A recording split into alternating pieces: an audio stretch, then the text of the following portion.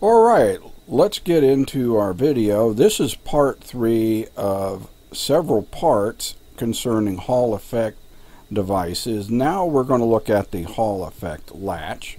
We have already explored the Hall effect analog sensor and the Hall effect switch. And now we're going to be looking at the latch, how it's built, how it differs from a switch, and applications. I'm your host, Lewis Loflin. Please visit my website at www.bristolwatch.com.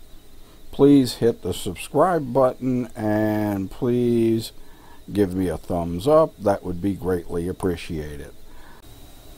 Alright, now let's take a look at actual live videos of the circuit that I constructed. Then we will look at the uh, diagram and how it operates.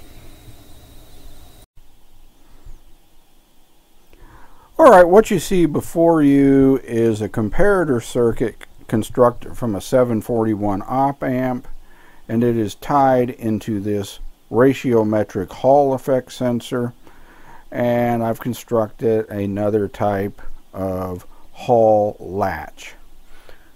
South pole of the magnet on the Hall sensor, LED comes on and stays on, north pole turns it off. South pole on the face turns it on. North pole on the face turns it off.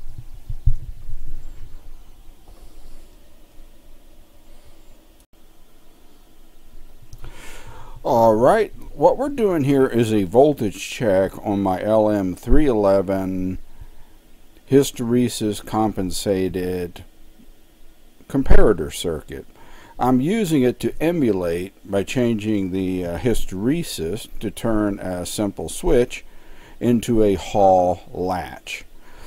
Look in the meter, you'll see that it's set uh, to 7.15 volts. This is due to this these resistor comp combinations I'll discuss in the uh, schematic. But for right now, south pole of magnet. As we put the magnet near the Hall switch, it switches on the LED and you notice the voltage, the feedback reference voltage has changed. When I approach the Hall sensor with the north pole, it turns off. So what happens, the feedback resistor will change the value of V reference uh, depending on whether it is on or off. So once again, quickly, the LED is off. The V reference voltage is 7.15. South pole of magnet turns on the comparator. It drops to 5. Use the north pole and turns it off. We'll discuss this in the schematic in more detail. All right, here is the schematic once again. Uh, same circuit as I used in the uh, switch. Here's your analog Hall sensor, a TL173, an LM311 comparator. In the original, when I had it as a switch, R4 was a 100K feedback resistor from the output to the reference in. Now we're going to change that to a 22K resistor and I'm going to radically shift the hysteresis points.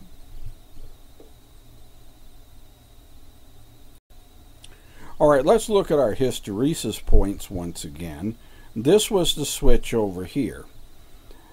The B, of course, stands for magnetic flux. So your B operate point was set for 6.82 volts, and the B release point was 6.32 volts. You notice that both values are above the quiescent point at 1 half VCC. So it switches on here, and it will stay on as long as the flux is equal to or greater for B op but as the flux is pulled away, it won't switch off until it reaches the uh, B release point, and this gives us a total hysteresis of 0.5 volts. Now, we're going to completely change this. When I change that resistor out, I greatly shifted the hysteresis point. B operate is pretty much where it was before, uh, somewhat different. The B operate point is now 7.4 volts, and the B release point was 5.48 volts. All right, and so you turn it on, it's turned on uh, about a volt and a half above the quiescent point at 6 volts. And to turn it off, as you saw in the videos, I had to flip the magnetic polarity around to drive the voltage below the quiescent point to 5.48 volts. And that gives me a hysteresis of 1.92 volts. Alright, here is a simplified diagram of how the resistors operate. Other than the value of the 22K replacing the 100K, it works pretty much the same. So, Alright, let's look at a commercial Hall effect latch. Uh, it's the SS400 series. It includes several different devices, latches, and switches. The thing to note, um, the operating voltage is from 3.8 volts DC to 30 volts DC. Here is your relationship of your magnetic fields or whatever. I'm going to stick here with the TO92, which is what I use. I own a bunch of these. Here is your printed, this is the label side or printed face. If you approach it with the south pole of the magnet, the output transistor that we saw earlier goes low because the Schmitt trigger switches on. And uh, when you pull the magnet back, the Schmitt trigger stays on because it is, and that's the way it's biased as I explained earlier. Then I have to reverse the magnet, go back to the face, and when it drops to the B release point below the Q point, the output will go high because the output transistor switched off and the uh, trigger switched off.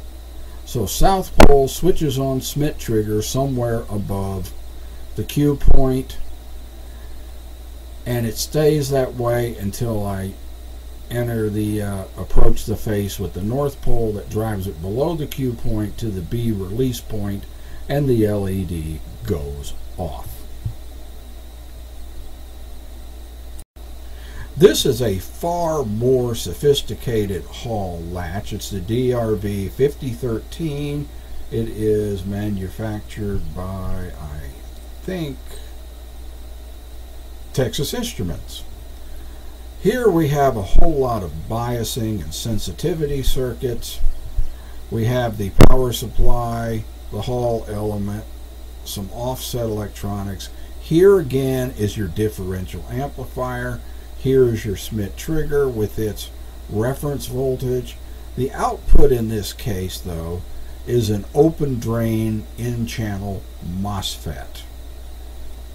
You can see the uh, package style up here and down here. Yeah, it's the diff it's the mark side, mark side from the top. There's your little plate. And here is your uh, output state um, B operating point is above the Q point. They call it B off.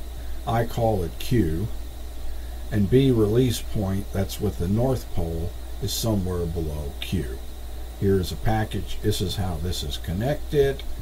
Um, you have a, this is the output. You put a 10K pull-up resistor on it and so forth.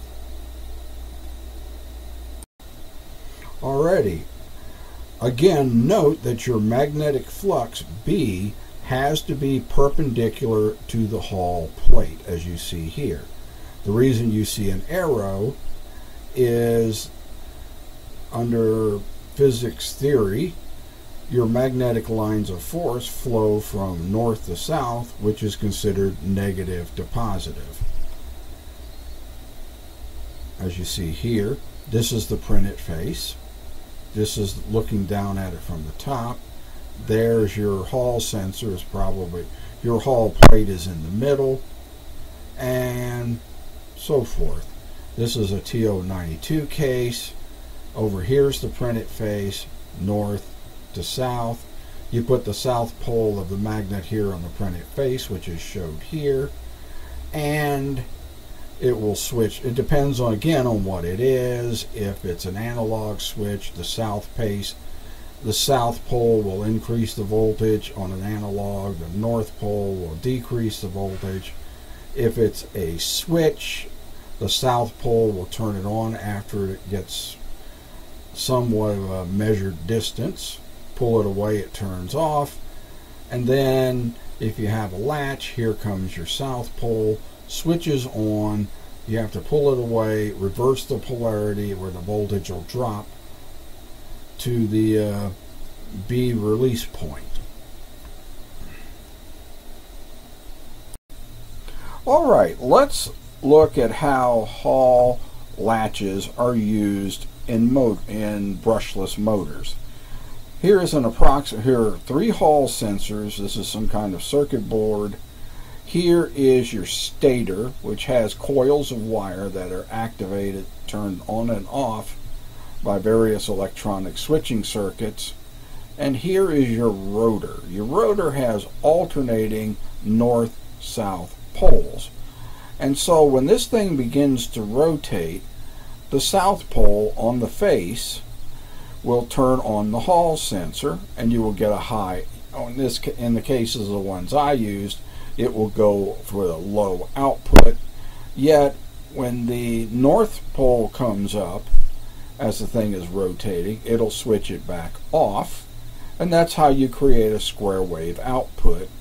And these three and these are offset in such a way that the electronics can tell motor speed, position, and so forth. Here's another illustration of three Hall sensors and this is a DC motor. You might see this, for instance, used to, in an electric vehicle. But here are your three Hall sensors. There are magnetic domains in this rotor. There's your windings, and the information is fed back to control logic, which runs a driver circuit. A common place that you're going to find your uh, brushless DC motors are in VCRs. Now, they don't make VCRs anymore, or at least the VHS types. They went over to D digital DVDs. But this is a brushless DC motor, and so this is called the capstan motor, and this is the head. This also rotates the heads. If you take the capstan motor apart, you have a ferrite ring magnet has alternating south, north, south, north domains all the way around it. There is the shaft. Here is the co six coils are switched on and off through the electronics to rotate this um, flywheel and maintain its speed. It has to maintain the speed as it pulls the tape past the rotating heads to keep the picture from jittering and so forth. If you look close right here at a blow up of the coil board, here are your three Hall sensors. Another interesting use for Hall sensors is in liquid flow meters. This one's for water. It has a Hall sensor and it has a propeller that, that has probably a small magnets attached to it. As the water flows through the device, the propeller spins, the magnets switch on and off the uh, Hall latch or switch or whatever it's using. I don't know how well you can see this. Here's somebody using one of these attached to an Arduino to read water flow on a very miniature um, LCD display. Here is another version of this. This is another flow meter that uses a Hall sensor. This I found on Amazon. Here's a view of another different type, and it's see and your um, hall sensor, be it a latch or a switch or whatever they're using, is sealed and waterproof. The water flows through it. Here is a view off of the end. Down there is your little propeller, has some magnets or whatever attached to it. And as the propeller spins, based on the water flow and its speed, you can tell the flow rate and how much water moved through the device by counting the pulses off the Hall switch. Alright, that completes this tutorial on the operation and use of Hall effect latches. I have more coming uh, where, where we are going to discuss more circuits. Thanks for listening. Please hit a thumbs up and subscribe to my channel and visit my website at www.bristolwatch.com.